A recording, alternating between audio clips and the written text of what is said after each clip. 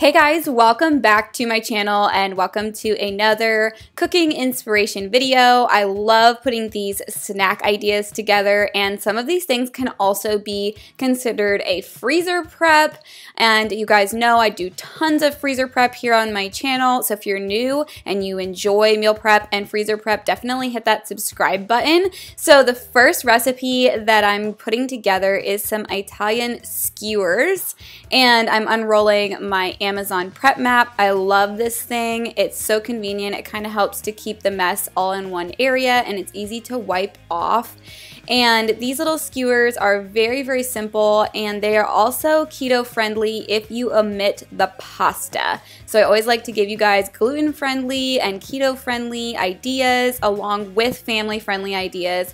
These will be great for lunch boxes and really could be even an adult lunch that could be taken along and you won't even need to reheat it or anything. You can just grab it right out of the refrigerator and into your lunchbox and go. So basically to put them together, I just cut the skewer sticks in half so they were a little bit smaller. They would also fit better in a lunchbox or storage container this way. And then I have some salami, some green olives, some tortellini, some um, grape tomatoes, and then I love these little uh, mozzarella bites. I forget exactly what they call them. I know sometimes we call them cheese curds. I put those right on there with the rest of it. Before we continue on, I want to thank Bougie Bakes for sponsoring today's video. You guys know I love giving you gluten-free and keto-friendly options, and these definitely are. Everything Bougie Bakes makes and sells is gluten-free, dairy-free, sugar-free, keto-friendly, non-GMO, and they also have vegan options as well. So this hits a lot of needs, and oh, they are so good. There is no baking required. Everything is baked in Los Angeles and then shipped and delivered fresh to your door. And these were very fresh. They had that out of the oven taste for sure. All right, so I'm gonna do a quick little taste test for you guys. But first of all, isn't this packaging just adorable? We have peanut butter cookie, chocolate chunk cookie, sugar-free sugar cookie, and double chocolate cookie. And honestly, just holding these up here, they smell so good. I can't wait to try them.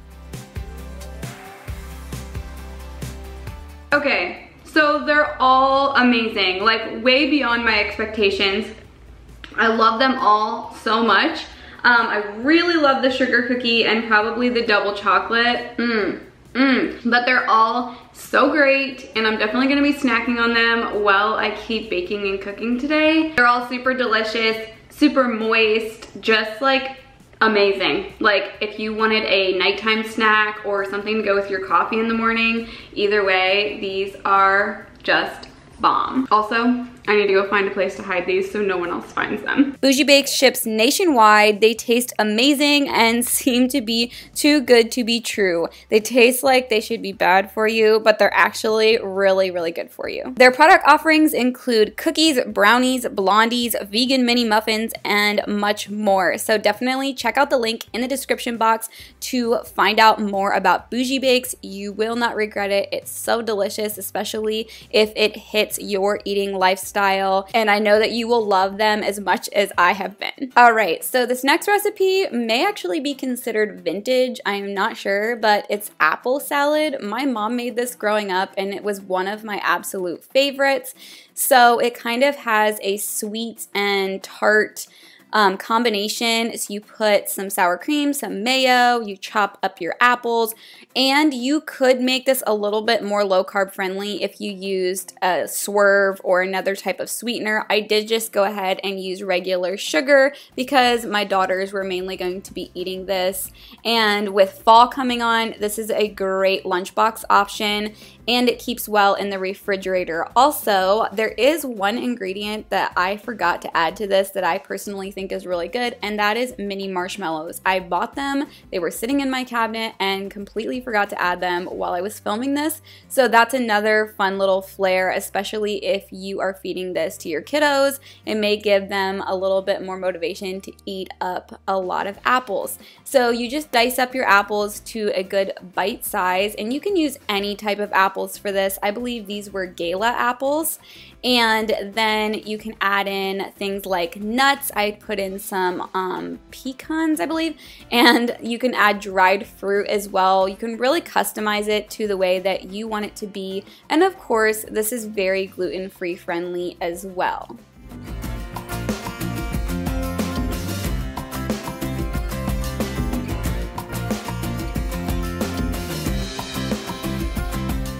All right, so I think I may have hit the jackpot, just maybe, but this is the first time I used this snack mix recipe. If you guys have watched my channel for a long time, you know that on occasion I do enjoy making snack mixes for my family. They're just really, really good, and that homemade snack mix taste you cannot get in the store. But this recipe, it's just like amped up by a hundred because you do use a ranch packet mix, you use butter, you use um, Worcestershire. I know everybody always corrects me on how I say that. Worcestershire sauce, and use a little bit of brown sugar. And a lot of times the mixes are either with the Worcestershire sauce or they're like a ranch mix, but this one just kind of loaded everything on and oh my goodness, we could not keep our fingers out of this mix. And I'm definitely going to be making it again. You'll see here in a little bit whenever I take it out of the oven how it actually kind of made like a coating over everything to where I kind of had to break up the mix. It almost made like a brittle, which really made all the seasonings stick super well to the mixture. And like everything else I give you guys, this could also be a gluten-free option. If you got gluten-free pretzels, if you got um, a lot of Chex Mix and gluten-free cheddar crackers, it's really easy to customize it. And you could even almost make it a low carb friendly option as well if you made it with nuts and things like that. But do keep in mind to watch your ingredients that are in ranch packet mixes and things like that because they do contain gluten, but you can get gluten free options. So I made the batch, I just made one batch and it really was better to separate it between two of my cookie sheets.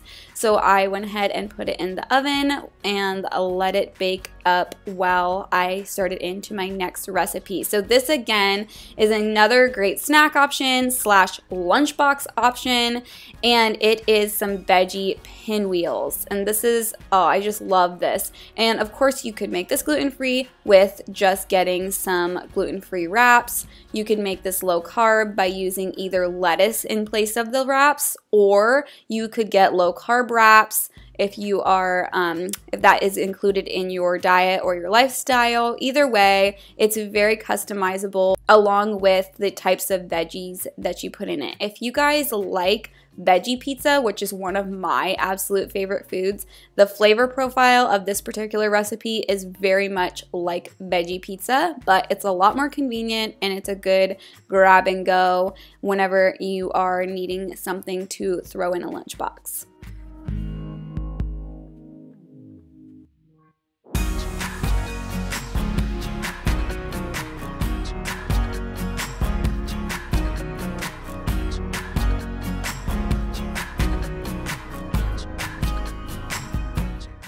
I opted to use the spinach wraps. I really, really like those. And um, it ended up making about four of them. They're pretty good size. And what you want to do, just to kind of help everything combine well, hold together, all of that, is you want to roll them up and then roll them in either like a press and seal or a saran wrap and put them in your refrigerator for a couple of hours and that will help them to really hold together. And you could also store them that way in the refrigerator and cut them up as you need them.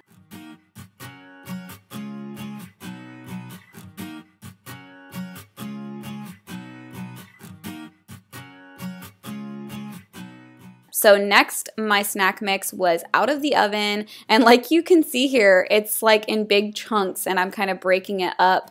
But this is a recipe that I am going to keep for a long time. This is something that's even nice to make around the holidays to give to other people, just because since it does have that delicious butter in there, it's not something that's really shelf stable for a long time. So it's a good treat to have on hand. And I did put one of these bags into the freezer for kind of saving um, to preserve it a little bit longer.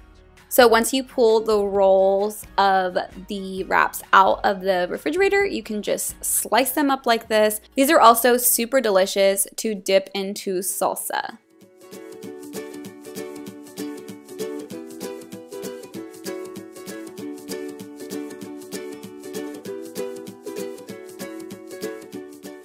Okay, so the next thing that I wanted to make up was some cookie dough for the freezer.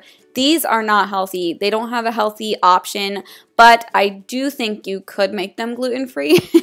but we have a lot coming up. We're planning to um, go on vacation for a little bit and just have some other things that we are going to be doing in the next little while and I thought it would be nice to have some cookie dough in the freezer so that I can pull them out and just stick these scoops onto the cookie tray and stick them in the oven and bake them up really quickly. It's also a nice thing to have on hand if you're going to have friends over or if you're taking a meal to someone and you don't want to take a bunch of time to make a dessert, fresh baked chocolate chip cookies, I don't think anyone can ever turn down. And this recipe in particular is a style that has the instant pudding mix in it, which personally I think makes one of the best types of chocolate chip cookies. Their texture is just perfect.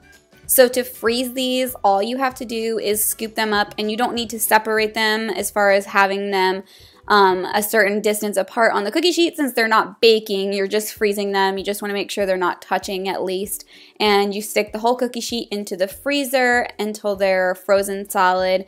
Then you take them out and throw all your scoops into a Ziploc bag and you can put them in the freezer and these will store a long time. I did make a double batch this day, but you could even make more than that, triple it, do whatever you want to do for your size family.